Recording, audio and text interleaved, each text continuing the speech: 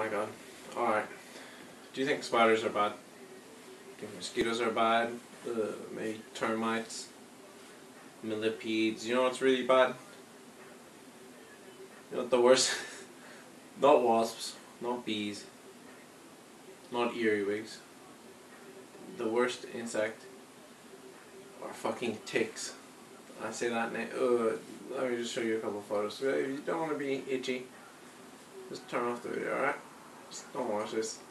This, this is. Uh, look at that. Oh. oh. No. That's minging. Uh, they're usually found in long grassy meadows, so steer well clear of them, especially in summer. And don't ever go.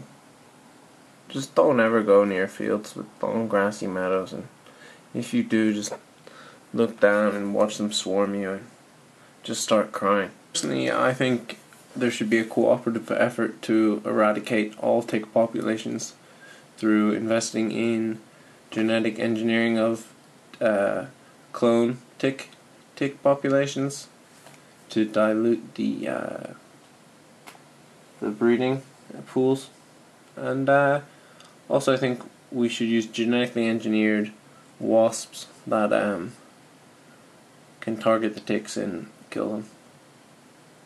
So, um, yeah, just anything to get rid of the ticks. Maybe even do like an Agent Orange sort of type Vietnam type thing, where we just blanket spray all meadows and just to get rid of them. I think it would really help. But instead of all this government intervention, I might just stay home.